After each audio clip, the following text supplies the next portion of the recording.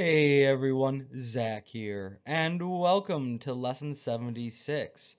In this video, we'll be updating our unit UI to include our fear status, a fear modifier, and we'll be updating our fear functions from the last video.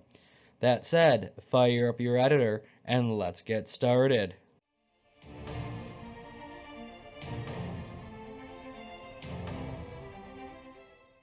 Hey everyone and welcome back to the editor. So in this video we're going to set up our UI so that we can see what our unit's fear level and fear modifiers are. And this is going to reveal a couple of issues that we need to take care of as well. So let's knock that out and I'll tell you guys what to test to see these errors.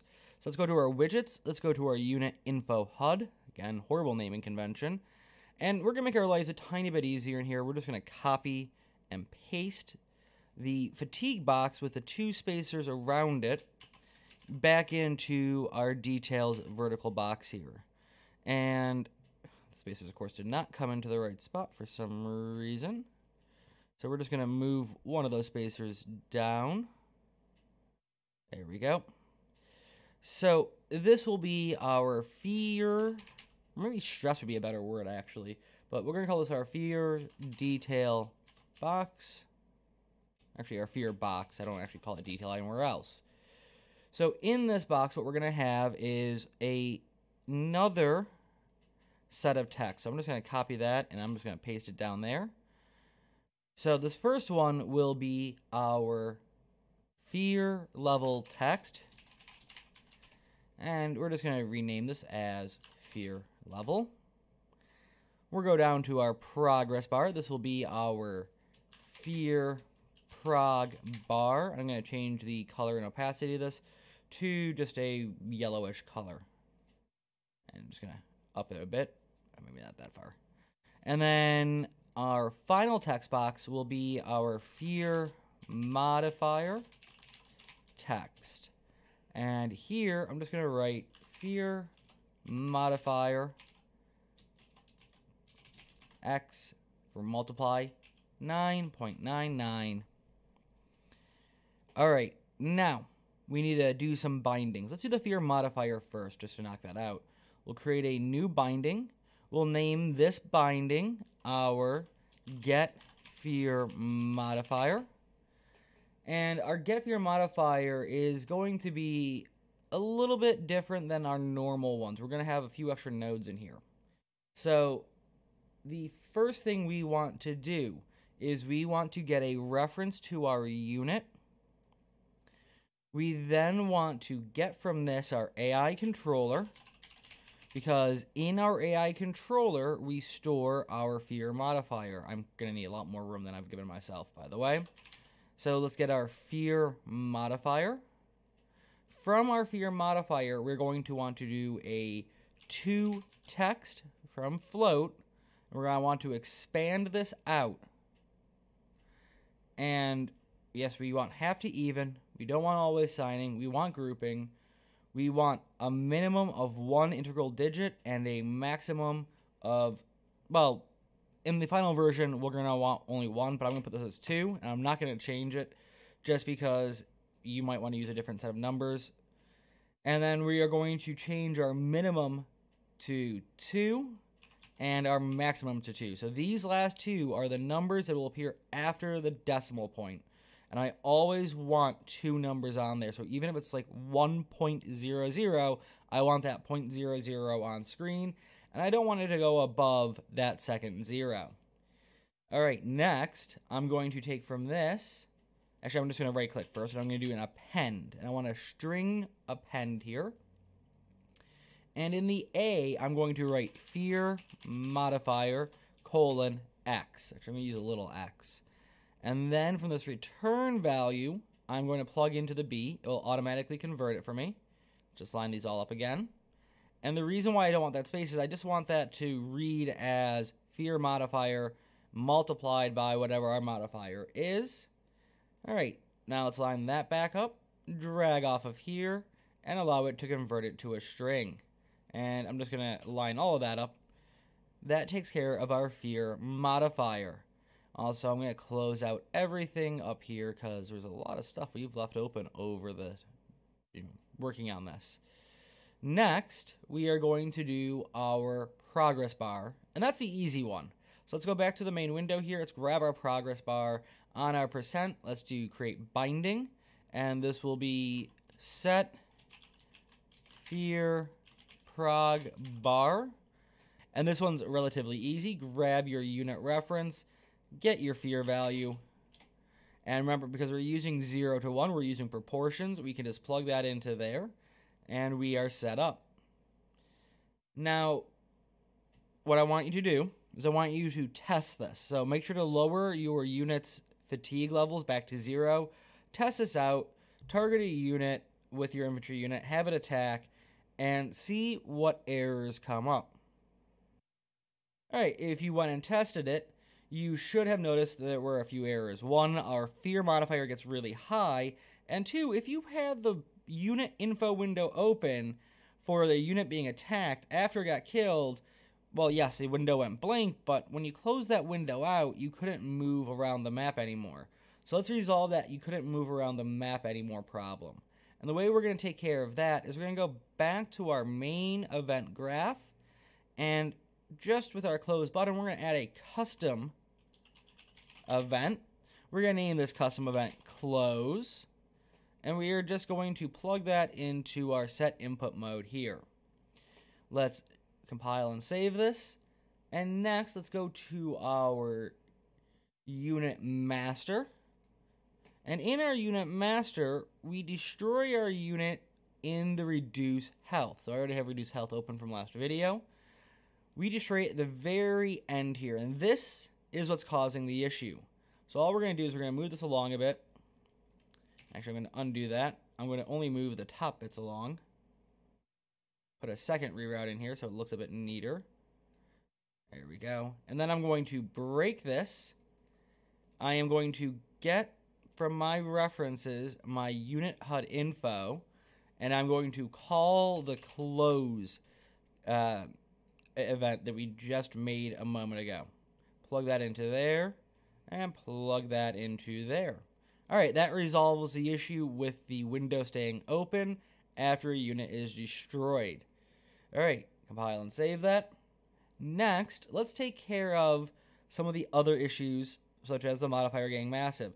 You also might have realized that the fear reduction continues, or reduce fear continues, even after their fear hits zero which does add some issues to the game in, in the sense that it is a resource that we are using up over and over again. So what we're going to do is we are going to go to our AI controller and we are going to make some changes here. So we do need our set fear timer open, we need our decrease fear, and we need our increase fear. So since we're in our set fear timers already, what we are going to do is we are going to break this. We are going to put a branch into here. And we're going to move everything else a little bit further down just to give us a bit of room to play with. And the true is going to go directly into there. The false, we will take care of pausing this timer. So we're going to be a little bit lazy. And we're going to take this decrease fear timer handle and the pause replicate it down there, plug that into the false there, and then we are going to put a return node at the end of this. There we go. So what does our condition need to be? Our condition needs to be our fear level. So we're going to get a unit reference. We are going to check our fear. We want to know, is this less than zero? Sorry, greater than zero, not less than. Is it greater than zero? If it is greater than zero, we want to activate this timer. If it is not, we want to make sure that timer is paused and not doing anything. Pausing versus invalidating will still eat up some resources, but much less than having this loop every whatever time we get from our set uh, timer speed. So that takes care of one of the issues. At least now, partially, when we have got our fear down to zero, this will stop. However, it actually won't without one more step. So let's go to our decrease fear timer here. or decrease fear, that is. At the very end, what we want to do is we want another branch here. And on this branch, what we're going to do is we are going to set status off the true. So just drag off here, do set status. And this, when our condition is met, which we'll take care of in a second, will loop back through our set status. It will hit our fear timers. It will see that our fear is zero and it will pause the timer. So what is our condition here? Well, it's going to be pretty much the same condition as before, except for I'm going to be a bit paranoid this time. We're going to do get fear, and we are going to check is our fear value less than, and I do mean less than this time, or equal to zero. Now, really, we could just do equal to in this case, and I know previously I said with floats, you should do uh, less than and equal to or greater than and equal to, depending on the situation. We could get away with using equal to because we have clamped our value here. By clamping our value, we actually can't get below zero. But I'm, I'm being a bit paranoid and prefer to do it this way just to be on the safe side.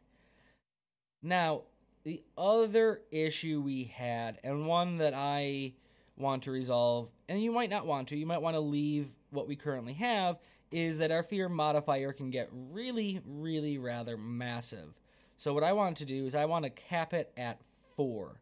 And the reason I want to cap it at 4 is simply because if it goes if it's at 4, then we are gaining 100% of fear an hour.